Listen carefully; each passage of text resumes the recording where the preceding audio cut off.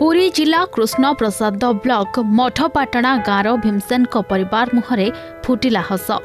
ବଞ୍ଚିବାର ନୂଆ ଆଶା ଦେଖିଛନ୍ତି ଏହି ପରିବାର। ଚିକିତ୍ସା ପାଇଁ ସରକାରୀ ଏବଂ ବେସରକାରୀ ସହାୟତା ମିଳିଥିବା ବେଳେ ମୁଣ୍ଡ ଗୁଞ୍ଜିବାକୁ ମିଳିଛି ଘର। ଚାରିପ୍ରାଣୀ କୁଟୁମ୍ବଙ୍କୁ ନେଇ ଭୀମସେନଙ୍କ ପରିବାର ଦୁଇ ବର୍ଷ ହେବ ଭୀମସେନ ପକ୍ଷାଘାତ ରୋଗରେ ଛଟପଟ ହେଉଥିବା ବେଳେ ପୁଅ ମଧ୍ୟ ରୋଗରେ ଆକ୍ରାନ୍ତ ହୋଇ ମରଣ ସହ ଲଢ଼େଇ କରୁଥିଲେ। ସେପଟେ ଝିଅ ମଧ୍ୟ ଭିନ୍ନକ୍ଷମ। ତେବେ ଏନେଇ ଅର୍ଗସରେ ଖବର ପ୍ରସାରଣ କରାଯାଇଥିଲା ଯାହାକୁ ଦେଖି ଜିଲ୍ଲା ପ୍ରଶାସନ ପଣାସପଦାର ସମ୍ଭାବନା ଚାରିଟେବୁଲ ଟ୍ରଷ୍ଟ ଓ ବାଙ୍ଗାଲୋର କଳିଙ୍ଗ ସଂଗଠନ ପକ୍ଷରୁ ସହାୟତାର ହାତ ବଢ଼ାଇଥିଲେ। ଫଳରେ ଚିକିତ୍ସା ହୋଇ ଘରକୁ ଫେରିଛନ୍ତି ଭୀମସେନଙ୍କ ପୁଅ। ମାନେ ଜାଗା ବାଡ଼ି ବିକ୍ରି କରିକି ସବୁ ମୋର ଅପରେସନ୍ ସକ୍ସେସ୍ ହେଲା। ତାପରେ ସେକେଣ୍ଡ ଅପରେସନ୍ ପାଇଁ ଡକ୍ଟର କହିଥିଲେ କି ତିନି ଲକ୍ଷ ଟଙ୍କା ଲାଗିବ।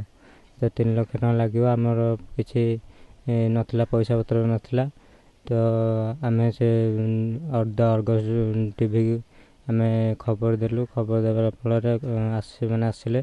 ଆସିକି ସବୁ ଉମ, ବୁଝି ବୁଝିଲେ। ଖବର ପ୍ରସାରଣ କଲା ପରେ ଆମକୁ ବି ବହୁତ ସାହାଯ୍ୟ କ- ମିଳିଲା। ଯାହାଫଳରେ କି ମୋର ଆଜି ଅପରେସନ୍ ହୋଇପାରିଛି। ମୋର ଏବେ ଏଇ ମାସ ପନ୍ଦର ଦିନ ପୂର୍ବରୁ ମୋର ଅପରେସନ୍ ହେଇଛି। ଆମେ ଲୁଣକୁ ଲଙ୍କା ପାଉନଥିଲୁ।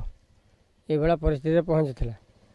କିନ୍ତୁ ଆମର ପଣସଦା ସମ୍ଭାବନା ଜଷ୍ଟି ବୋର୍ଡ଼ ବାଲା ଆସି ବହୁତ ସାହାଯ୍ୟ କରି ଲକ୍ଷାଧିକ ଟଙ୍କା ବି ପୁଅ ଅପରେସନ୍ ପାଇଁ ବି ସାହାଯ୍ୟ କରିଛନ୍ତି।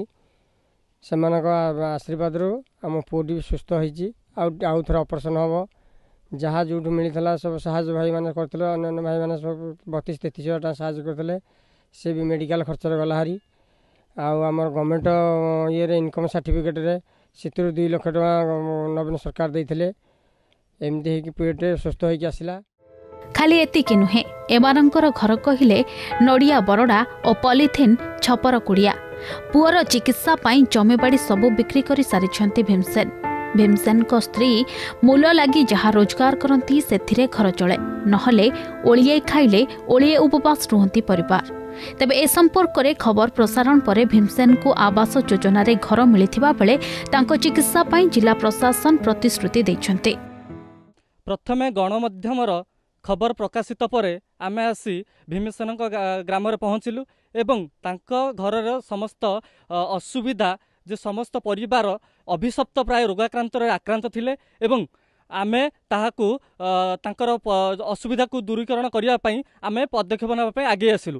ସହାୟତାର ହାତ ବଢ଼ାଇଥିବା ପ୍ରତ୍ୟେକଙ୍କ ସହ ସରକାର ଏବଂ ଗଣମାଧ୍ୟମକୁ ଧନ୍ୟବାଦ ଜଣାଇଛନ୍ତି ଭୀମସେନଙ୍କ ପରିବାର। ବ୍ରହ୍ମଗିରିରୁ କାଳୁଚରଣ ସାହୁଙ୍କ report the Argus dot in.